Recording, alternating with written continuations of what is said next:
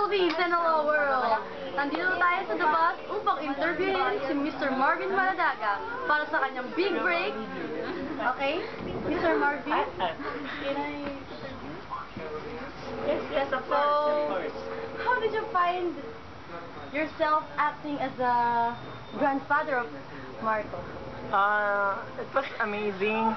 The story was amazing. So, it was hard for me to act as a grandfather of Marco. It was hard for the all day long practices, the work, the hardmanship, mm-hmm. the workmanship, or the handmanship. All of that, it was amazing for me. This my, ano, this my It's my big break of all. I'm so. The story was. I find the story so interesting. Was amazing. The director, Banigos, you know Yes, that girl? Yeah. I know her. It's the amazing director of all. I know it. The story was great. The story was amazing. So guys, watch it all. So, what do you say to our fans? Your fans? So for our fans out there, please watch our video entitled Huling Sayaw. Please watch. It was a blockbuster hit. Oh, over again. over again daw. Binago na. Pasalamatan mga sponsors? Mga sponsors ko pala, ah, Yes? Adidas. Adidas, ah, ano ba to? Yung suit kong t-shirt, Kentucky, salamat po. Ah, sapatos ko. ba yun? Bench. Ano ba sapatos? Ah, bench, bench. Ang galing yan. Tapos yung ano ko, dermatology.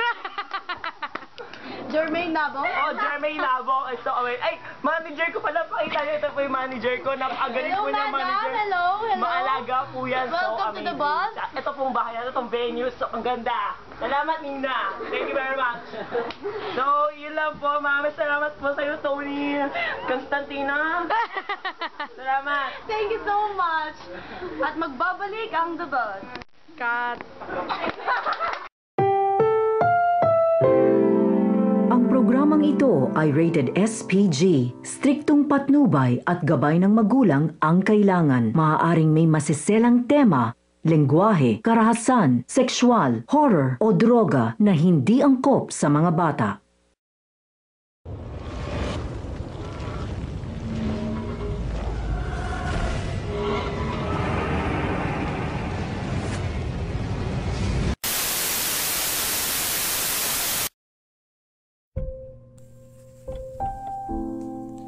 Isang hindi maipaliwanag na pangyayari ang gumimbal sa aking mundo.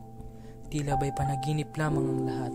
Sa aking paningin nga'y, ang mga orasan ay uminto sa paggalaw. Ni ang mundo nga yata ay tumigil sa pag-ikot sa araw. Para bang ang kahapon ay mabilis na nabura sa mga isipan ng tao.